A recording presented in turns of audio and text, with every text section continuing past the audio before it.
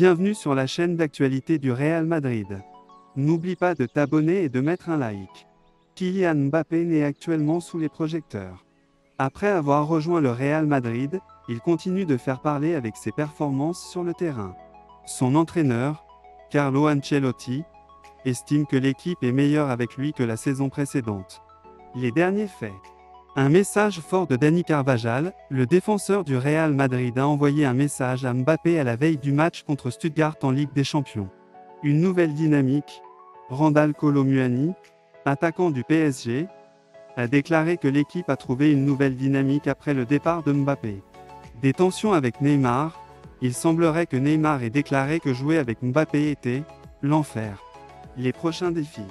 Ligue des Champions, Mbappé va disputer son premier match de Ligue des Champions avec le Real Madrid contre Stuttgart. Le classement Le Real Madrid n'est actuellement deuxième du classement de la Liga, à un point du FC Barcelone. Reste à voir comment Mbappé et le Real Madrid vont continuer à performer cette saison. L'actualité du Real Madrid aujourd'hui est très prometteuse. Le club s'est imposé contre la Real Sociedad avec un score de 2 à 0, grâce au but de Vinicius et Mbappé, c'est leur troisième victoire de la saison en championnat, ce qui les replace provisoirement à un point du FC Barcelone. En outre, le Real Madrid se prépare pour la Ligue des Champions et Carlo Ancelotti a déclaré que l'équipe est prête pour commencer la compétition par une victoire carré Cup 4. Dani Carvajal a également exprimé son enthousiasme pour cette compétition, soulignant son importance pour le club carré Cup 4.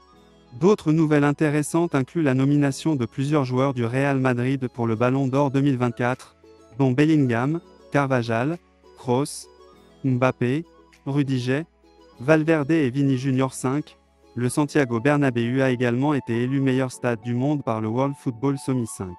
Enfin, le Real Madrid surveille une cible offensive pour le prochain mercato, estimée à 100 millions d'euros 6. Les dirigeants du club pensent déjà au prochain mercato d'été, malgré le fait qu'on soit seulement au début de la saison 6.